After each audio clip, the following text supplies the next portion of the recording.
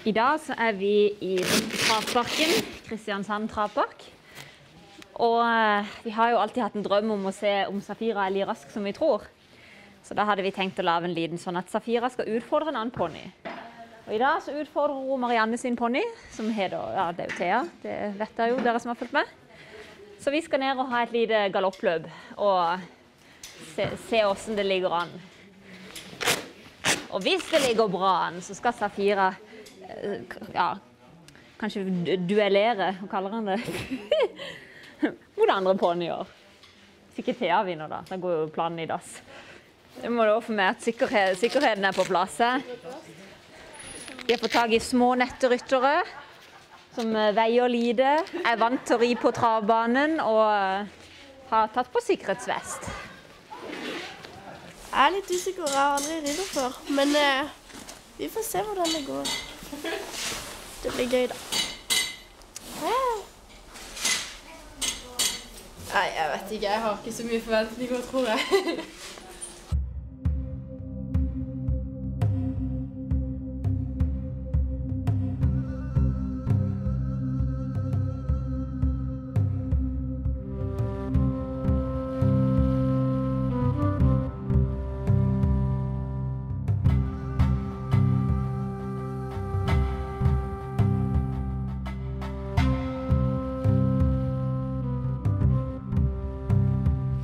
Når så rir vi på yttersporet. Eh, motsatt vei, hvis de ikke samme vei som de går løp. Så da rir vi inn til venstre, og så rir vi Skjønte du det? Ja, ytterst Ja, til og så- venstre rundt. Ja. Når vi rir fort, så rir vi innerst, og så riktig vei. Altså mot høyre. Ja. Thea syntes dette var kjedelig å høre på. Hun vil helst bare gå.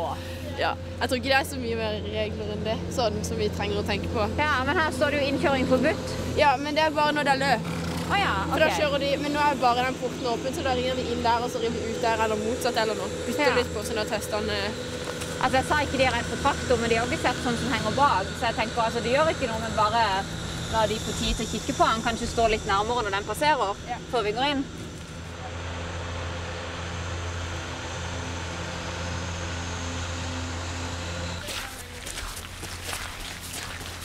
Jeg tror det er nok med. At vi begynner nede i svingen. Så kapper dere opp. Hæ? På Steinar og Borkeistad. Ja, men så gøy hun syns det er. Det er jo dritgøy. Jeg tror vi tar en runde til, for de er litt usikre. Jeg gjør det, så kan jeg prøve litt galopp hvis jeg får lyst òg.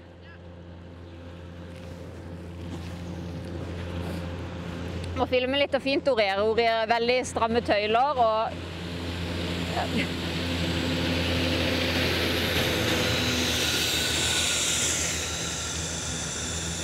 De er veldig flinke til å støtte de og rette de, så med en gang hestene begynner å gå sidelengs, så dytter de de på plass. Så det var bra valg av ryttere. Dagens duell. Safira og Marita skal i dag kappløpe mot Thea og Emilie. Og vi er i Sørlandets travpark, og vi håper virkelig det skal gå unna, og at ingen detter av. OK? Er det, hvem vinner? Meg vinner. Ja.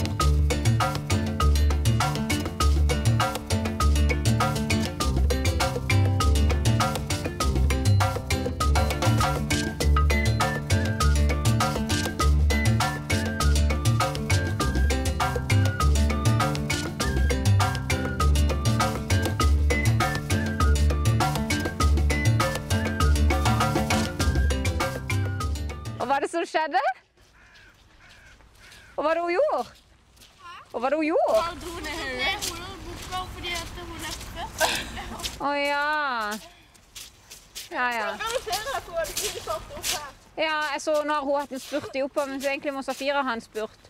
Men altså, vi må heller bare gå i gang og så løpe fort, tror jeg, for da detter dere av. Går Har du vondt noe sted? Nei, det hun trykka på Men du, altså, jeg skjønner hvorfor du ville, fikk tøy av menn nå. Det var mye lurere det enn at du tok med ditt eget tøy. Så bare spurte opp en komoe som har en sånn Ja, krøs da. gjør det. Men hun er tung i galoppen. Ja, men hun har bremsen på, for hun skal få med seg alt. Og så der. Så får hun fram raben, og så plutselig så bare bøyer hun hodet og blåser i nesa sånn i steg. Ja, for jeg ser når hun traver, så heiser hun seg veldig da. det. Men det er jo det som er vanskelig å få dem til å skjønne at de skal kappløpe og løpe rett fram. Men hvis du går ned og så tar en litt fort galopp opp, så venter vi her.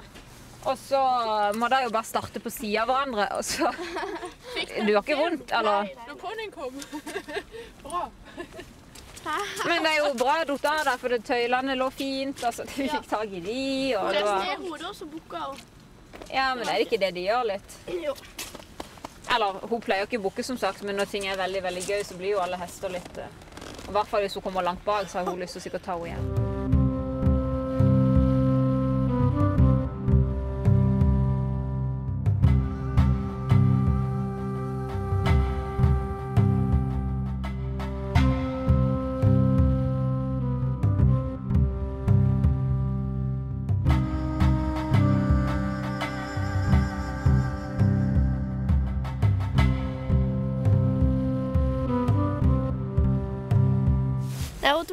Og så bukka hun, så fløy jeg over. Så trykka hun på meg. Nei! Jo, hun løp over. Traff hun sikkerhetsvesten? Heldigvis. Det var godt vi tok på den. Ekte hestejenter, vet du. De tåler en smell. Ja. Skal vi se om Marita òg får samme effekten der nede. Du, Nå er det litt villere. å, jeg blir aldri redd når jeg rir sjøl, men jeg blir nervøs når jeg ser andre ri.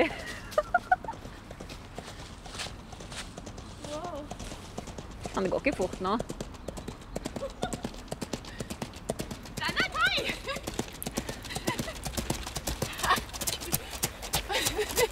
Du må bare ha flatt jern, for da klarer hun ikke tøyse. Jeg må bare ta henne fra starten, og så bare slippe henne.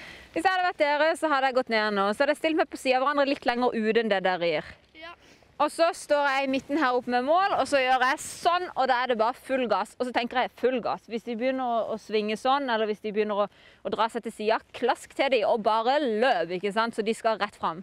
Full fart. ja, for når hun fikk fart på seg, så gjør hun ikke noe. så prøver vi en gang, og hvis det går bra, så er det det. Og hvis ikke, så tar vi det en gang til. Ja. Men i full galopp så kan de ikke bukke, de kan ikke steile, og de klarer ikke å løpe til sida. Så da må bare løpe fort nok. Ja. Og på sida av hverandre så tror jeg de får en helt annen fart. Nå løper hun jo ingenting. Veldig vanskelig å si, for det er sånn Safira hun bremser jo for hun skal se på alt og kikke på alt. Hun har ikke skjønt at det er om å gjøre å komme først til mål. Thea har jo allerede hatt en spurt og syns det er veldig gøy. Er dere klare? Klar, ferdig, løp!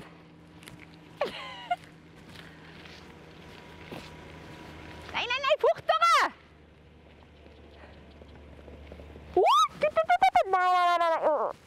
Ja. Jeg tror ikke vi gjør dette likevel. Er det mulig? Uff a meg.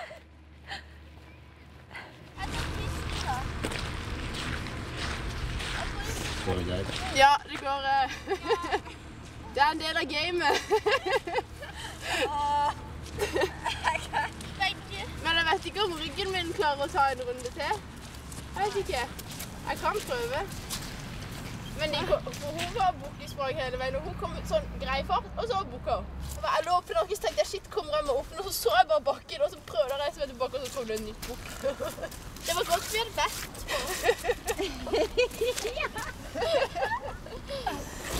Vi tar mørke ridebukser neste gang, eller er? De er, de er veldig flinke ryttere. Tar det med godt mot. Og nå rir de der to gjørmetroll og syns det er gøy. Men eh, jeg har ikke helt nerver til dette. Men de skal få lov å gi seg når som helst. Men de er litt usikre på om de vil gi seg, så de skal bare ta en runde og se. Men jeg tror ikke jeg vil de skal dette mer. Mm.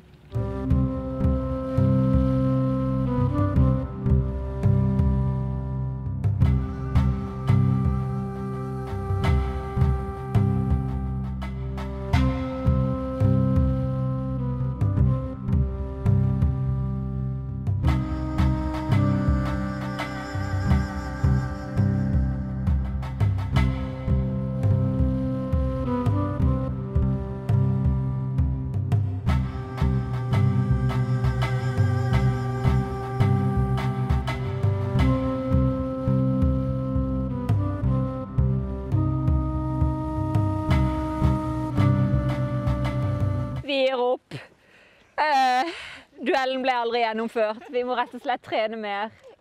Da har vi nok juling i dag, så får vi heller komme opp og få mer juling en annen dag. Ja. Er dere enige, jenter? Kanskje ta på knebeskyttere, da. Det er knebeskyttere, armbeskyttere. Politivest. Ja, som på tennene. Åh. Ja, ja. Men eh, god innsats.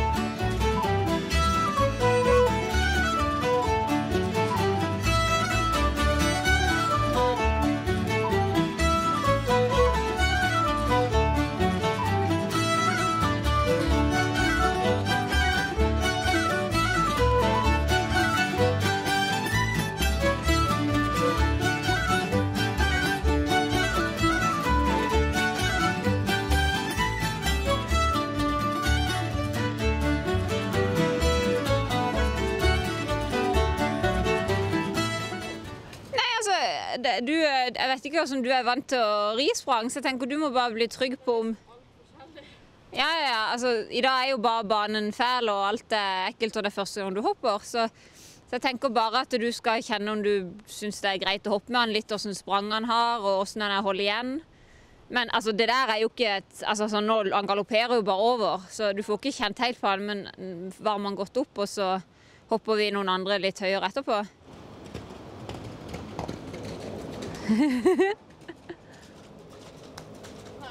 Så kan du jo bytte litt vei òg og se hvordan han går på andre hånd. Ja. På søndag så skal de ha stevne henne på Brekka rideklubb. Eh, og i år har jo ikke banen vårt gått an å ri på, det er jo bare snø og is og alt siden vi har utendørs bane. Så Eldorado har ikke hoppa noen ting i vinter. Så derfor har jeg spurt om forrytteren har lyst til å prøve å stille på søndag, men hun har jo aldri hoppa med han. Så i dag skal hun bare teste litt hvordan han er å hoppe med. Og så er jo stevne om fire dager. Fem dager. Ja. Så hun får ikke tid til å øve, så hvis hun stiller, så er det bare for gøy. Men Eldorado syns jo det er så gøy å hoppe at han, han holder på å dø, så det, det hadde jo vært litt gøy for han å få lov. Det viktigste er egentlig bare ikke å ri han heit, at den på en måte roer han ned, sånn som du gjør mellom hindrene. At den, at den roer han ned mellom hindrene, at ikke den lar han bare løpe på. Og hvis du klarer det, så hopper han superbra. Og jeg ser det lander jo alltid i riktig galopp. Ja, ja, det er jo sånn han er. Hvis han skjønner han kan utnytte, så utnytter han alt. Men ja. Og så selvfølgelig, hvis han kommer på et stevne, så er det jo sikkert enda gøyere.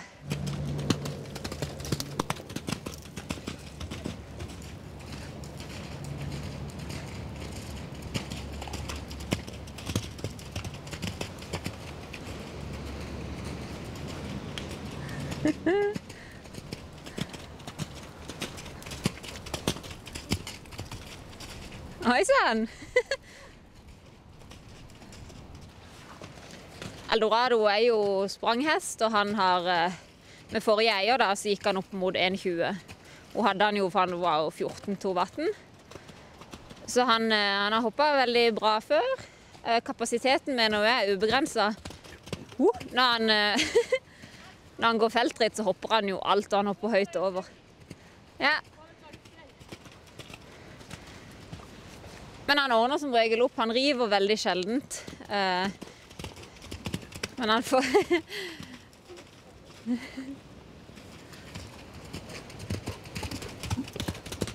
Det er kjempegøy. Det er litt varmt ute, da, men eh, det er kjempefint. Jeg har ikke hoppa så mye nå i det siste, så jeg er fornøyd. Jeg har jo hatt hest sjøl, så jeg har jo starta og prøvd å hoppe 1,20, men jeg har starta opp sånn rundt 1,15. Og sånn, han har vel, Du kjenner at han har kapasitet, at han kan dette her. Så jeg sliter bare. Eh, og så, så gir du deg bare i det han hopper fint, at du hopper begge to, men hvis han ikke hopper det bra, så tar du det en gang til. Og så når han hopper det bra, så gir vi oss bare, siden ikke han har hoppa noen ting i år.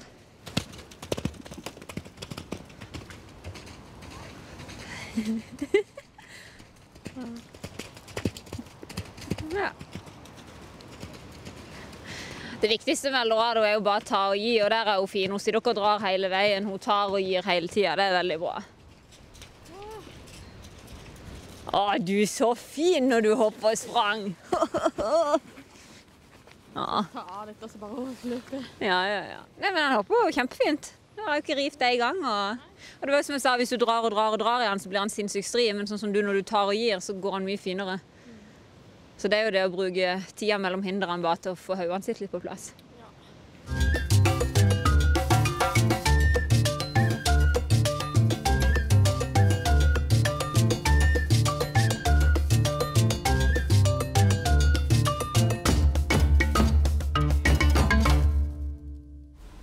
En sånn adrenalinkick.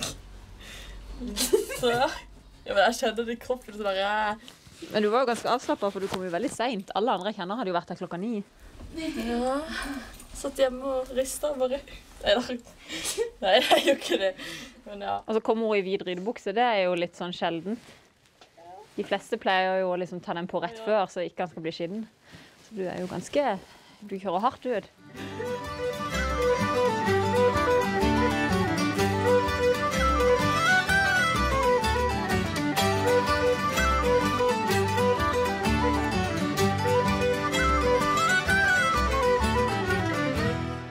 Skal vi hen til Stalsiring.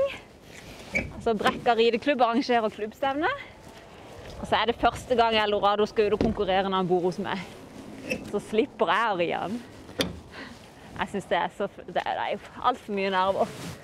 Men nå har vi fått noen andre til å gjøre det.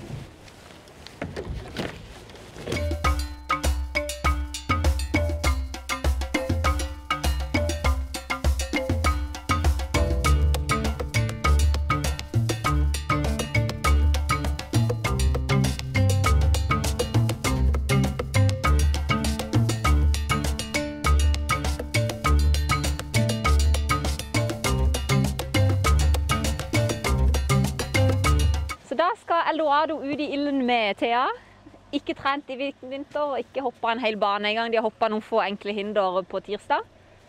Og i dag er det søndag, og de skal ut i stevne. Så det blir sånn treningsøkt eh, bare for gøy. Men hun sier hun går jo inn for å vinne, da, så det er jo en optimistisk holdning. Ja. Ja. Men han har jo klart å grise seg til en del på veien, da. Men er det noen grunn til at dekken er på, eller skal vi hive av så vi får børsta resten? Ja. Han har jo bare gått og lufte seg litt.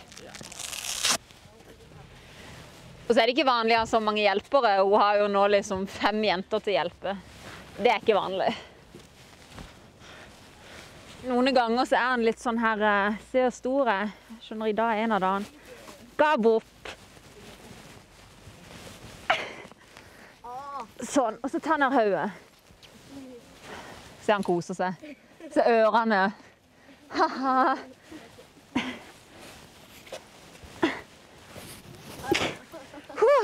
Slipp. Nei!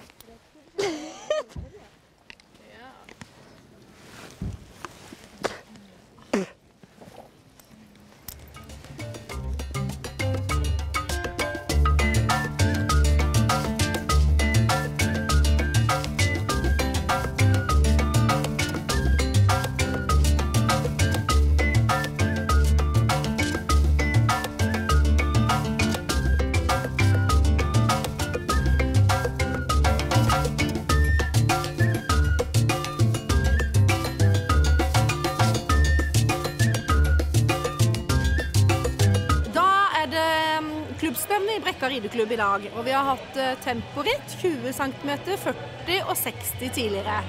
Og det er i regi av Stall Styring, som driver denne plassen.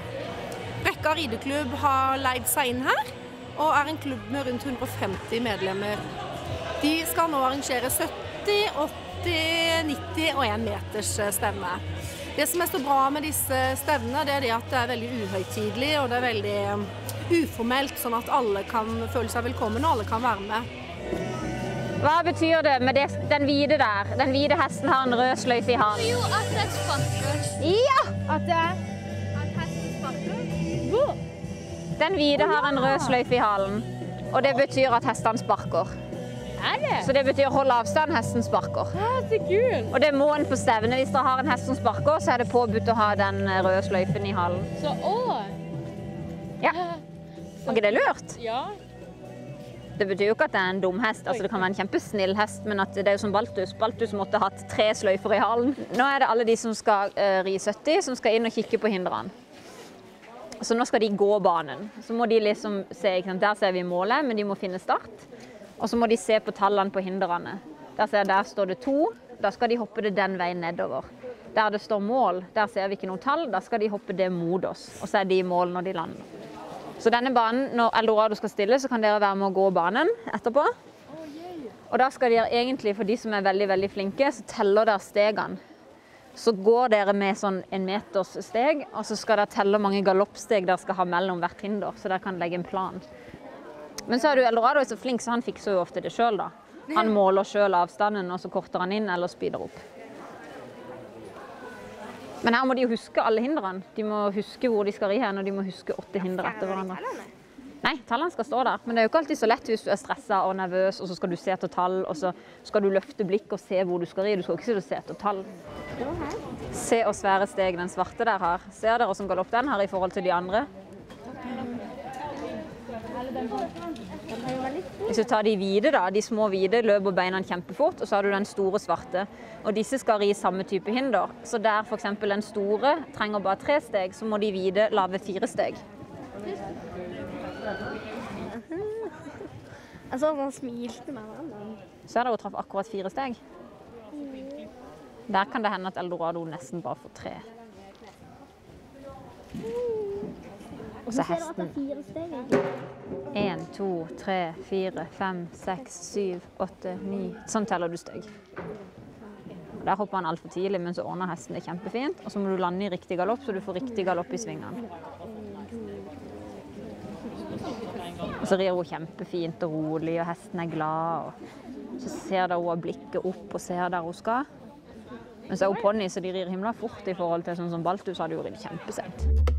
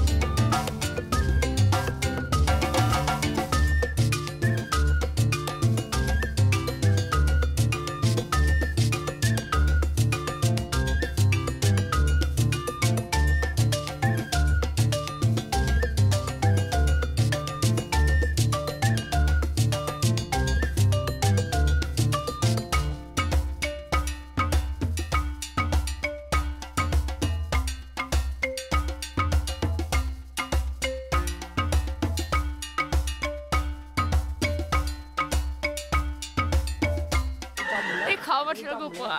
Jeg håper han vinner. I dag er det om å gjøre å ri eh, fortest mulig og feilfritt. Eh, Jeg har sagt til Thea at jeg ønsker ikke hun skal ri fortest mulig, jeg ønsker hun skal ri pent.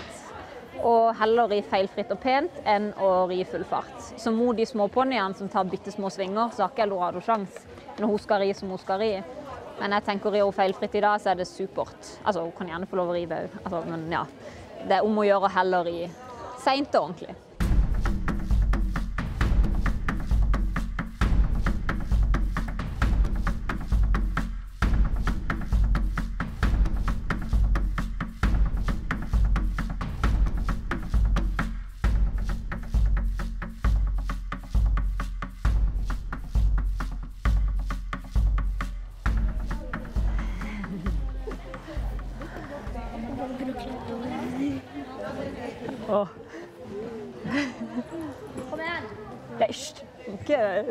Får ikke han til å løpe fortere her. Nei. To, og så kommer vi på tre. Det er blå. Så ut på både fire. Strekk fram. Ja, nå går du unna. Og så her på det. Gary gjorde han veldig godt, da. Ja, bytte over galopp. Bra. Å, oi. Det. Å, Eldis, ro deg ned. Å. Ja da, jeg fikser det. Å, nå på.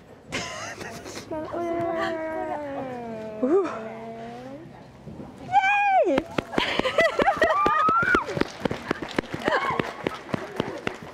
Jeg syns hun reiste fint. Hun tok fine svinger, ingen sånne eh, lure løsninger. Hun gjorde alt hun skulle, og så ble han rett og slett bare dødsheit. Og da er det ikke noe annet å gjøre egentlig enn det hun gjorde. Du må bare prøve å roe han, og så må du la han løpe. Men hvis du stopper for mye, så blir det ikke noe flyt. Så han ble litt flat på noen, men det gjør ingenting når det er så lavt for han. Så det var veldig gøy.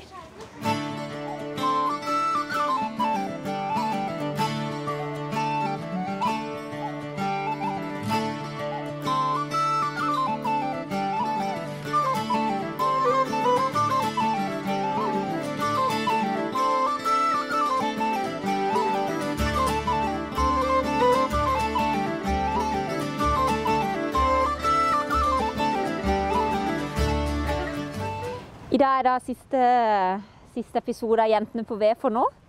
Da er sesong én ferdig. Men vi eh, skal virkelig jobbe på å få en god sesong to. Så hvis dere har noen eh, gode tips i mellomtida, eller har lyst til å bidra med noe, så kontakt oss. Og så tenker jeg dere kan følge med på, på Facebook-sida på Jentene på V. Gå inn og lik den, så får dere opp eh, all informasjon om hva som skjer, for vi skal ha mye aktivitet framover. Det skal skje mye spennende. Ikke sant? Ja. Eh, hva mer var det jeg skulle si? Nå blir det bare en pause på 14-15 uker. Og i mellomtida så kommer Sam på gården. Og han er jo bare dødssøt, så han må da i hvert fall følge med på. Sam på gården, det er en mann som bor på en gård og har masse rare dyr. Han har ikke bare hester, men han har sånn masse sånn små griser og høylandsfe og masse sånn rampedyr. Så gjør han sånne gøye ting så dere kan lære masse. Så Sam på gården kan dere òg inn og like på Facebook og følge med på og se. Men selvfølgelig kom tilbake til oss.